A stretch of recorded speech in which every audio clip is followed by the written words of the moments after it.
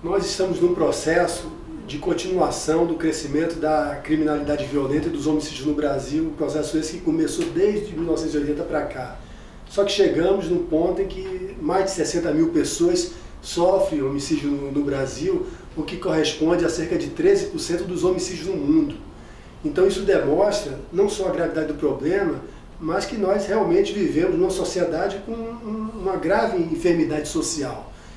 E para a gente tentar imaginar, contribuir para políticas públicas para mitigar esse problema, o primeiro passo é entender o que está acontecendo, entender algumas dinâmicas relacionadas a essa questão dos homicídios no Brasil.